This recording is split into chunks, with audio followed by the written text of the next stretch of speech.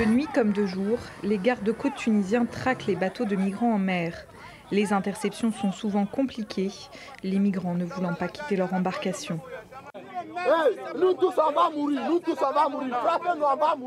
Cette nuit-là, neuf bateaux d'une trentaine de personnes chacun ont été interceptés. Des chiffres records alors que la haute saison des départs n'a pas encore commencé.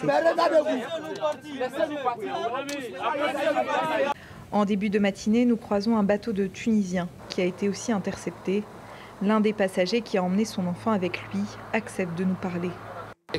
Je suis parti parce que je n'ai plus les moyens de vivre ici avec l'inflation. Je n'arrive plus à payer mon loyer. Je passe mon temps à courir du matin au soir pour travailler et je gagne à peine de quoi survivre. C'est ma troisième tentative et je vais réessayer dès que je peux.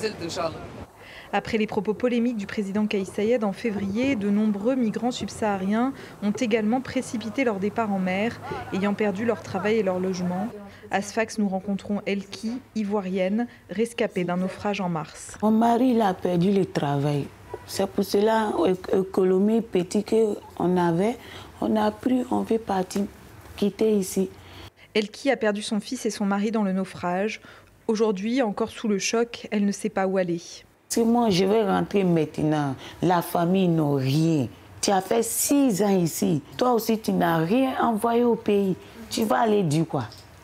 Actuellement, la Tunisie a de plus en plus de mal à contrôler les flux migratoires dans le pays et les départs vers l'Italie. Avec la crise économique actuelle, la Tunisie ne peut pas gérer la question migratoire. D'ailleurs, vous le voyez, tout repose sur les associations. À Sfax, vous n'avez même pas un centre pour placer provisoirement les migrants interceptés en mer.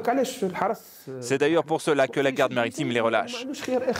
Au port de Sfax, nous retrouvons le bateau de la garde nationale qui a intercepté près de 300 migrants en une nuit.